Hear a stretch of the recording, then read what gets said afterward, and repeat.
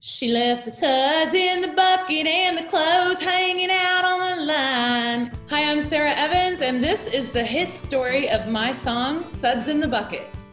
She left the suds in the bucket and the clothes hanging out on the line. When I was getting ready to go in the studio to make my album Restless, I was actually out in Oregon and I got a CD sent to me and the title was Suds in the Bucket, and I didn't know anything about the song, about the songwriters, nothing. So I popped it in in the car, and it was just this really weird. It was actually in a shuffle beat, like a two step, not a train beat, but it was this girl singing. Um, she left the suds in the bucket and the clothes hanging out on the line, and it was like so country and, like I said, a shuffle beat but I loved the lyrics and I loved the story. I thought it was just hilarious, and I'd never recorded a song like that. All the biddies in the beauty shop, gossip going nonstop. All the biddies in the beauty shop, gossip going nonstop, sipping on pink lemonade. So then I went to the record label and I was shocked because they didn't love the song. And in fact, they were sort of adamant against it. And Joe Galante, who was the head of RCA Records, we had an amazing relationship and he always kind of let me do whatever I wanted.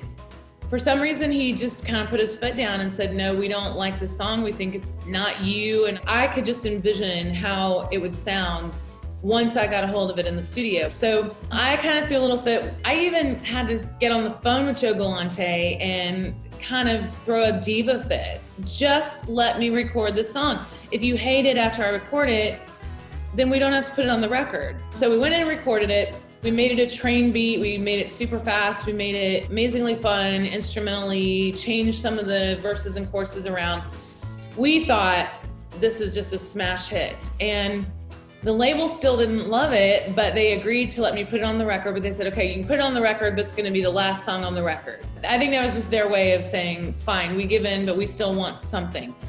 Well, then they started going out to radio with the album. Every single radio programmer would email them or call them, man, we love that Suds in the Bucket song. And I was like, yes.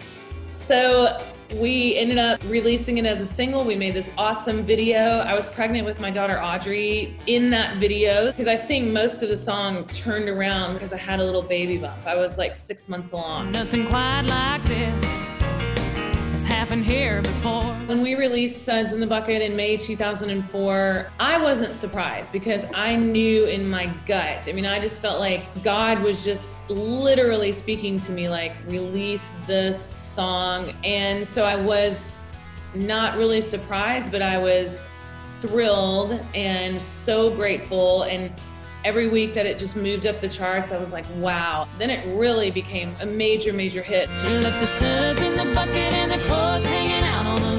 Still to this day, everybody talks about we love that suds in the bucket, and that's probably my most played repeat song. It's never waned the excitement for that song, and we save it towards the end of the show, and people just go crazy every night.